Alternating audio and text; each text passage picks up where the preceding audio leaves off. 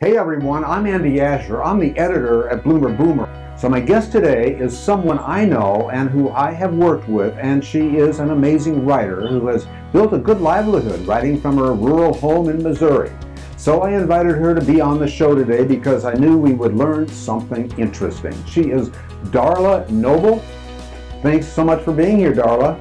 Thanks for asking, Andy. I'm I'm really excited to be here with you. Well, so am I, and I know that uh, you are a writer, and I Yes. know you uh, write books about us. Uh, uh, you know, when someone says that they're a writer, we conjure up a certain uh, set of skills and education and a work record that defines what it means to be a writer. But but since then, I've discovered that there are all different kinds of writers, such uh, with all different skill sets and backgrounds. Uh, do you know what I mean? Most definitely. Um, as far as my work is concerned, I write what I know. I I am nonfiction. Um, in the curriculum aspect, I do do some fiction, um, children's stories to bring home points or to um, for English and grammar lessons and that sort of thing. Character education, I do um, some fiction for kids as far as that goes. But um, you know, to sit down and write a book like a fiction book, like a novel, a mystery, a cozy mystery, a love story, or something like that, that would definitely not be me. Um, I want. I want to take away from from whatever I read um, and whatever I write. I want people to be able to take something and useful and meaningful and relevant that they can apply to their life. It dovetails into what I would ask you here. Uh, There are many types of writing, and not everyone can do it all. Uh, There's, Correct. of course, copywriting, there's article writing, there's blogs, Mhm. there's fiction, there's nonfiction. How does one Right. decide their niche, and is a niche important? Okay, I'll answer those questions in reverse. Yes. it's very important um, it's kind of like that old thing you that old saying where you can do a lot of things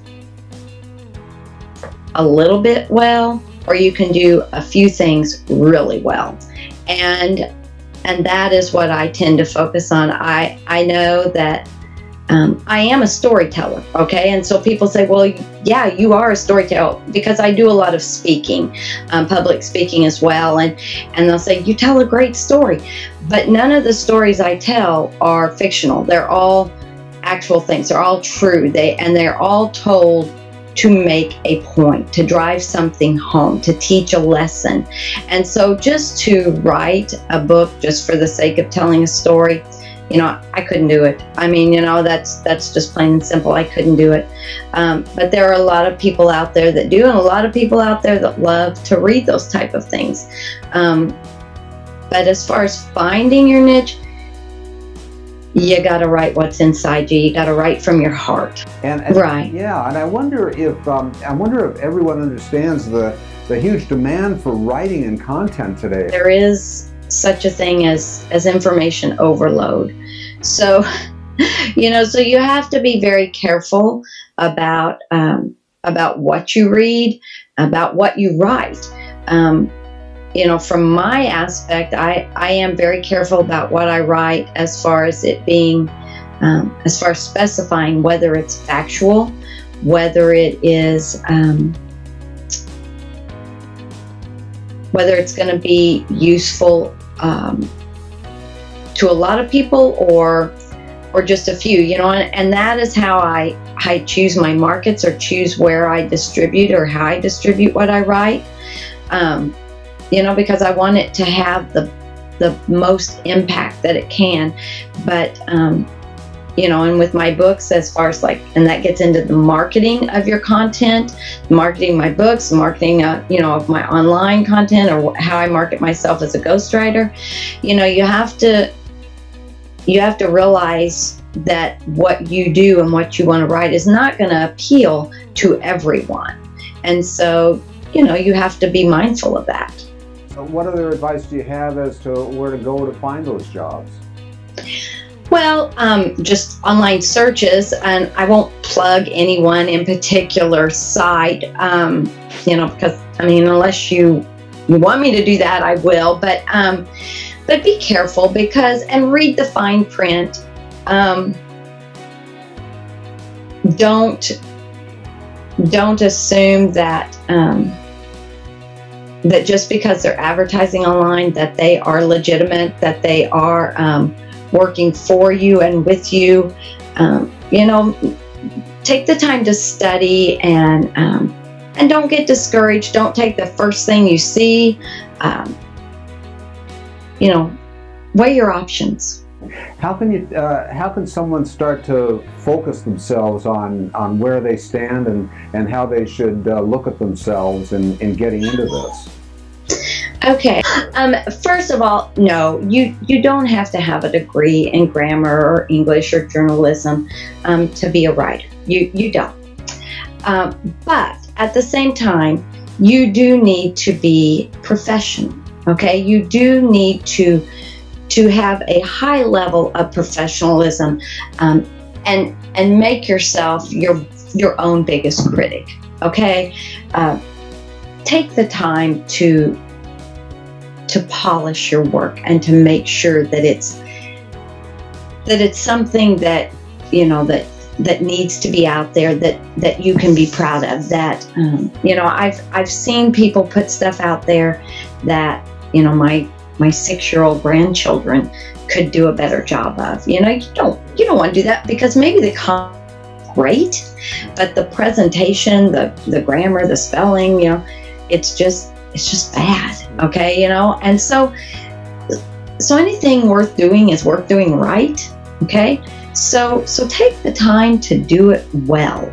There are a lot of helps out there um, you know your your laptop will have a lot of helps with as far as grammar and spelling and things like that. Don't depend solely on that though because it's it's a machine okay and it doesn't do it all well um, and it doesn't do it all correctly, um, depending on the um, you know the the inferences that you're making, or you know sometimes when you're when you're doing slang or something like that, you know. So so you need to be careful. Um, you need just you just have to have a series of you know of things to check and recheck your work. Um, take the time to know your copyright laws. Okay, take the time to protect your work. Okay, take the time to protect your work so that it doesn't become someone else's. Um, I've had a couple of instances, one very innocent instance, and when someone um, took my work and and submitted it to another publication, it was it was a very innocent mistake on this gentleman's part, um, and I was more than happy to let him to let him use it. Okay.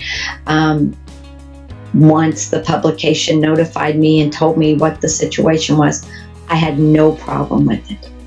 Um, another instance, um, I sent an example of my work to a prospective client, and um, they turned around and used it for their own, and that that was not such a good thing.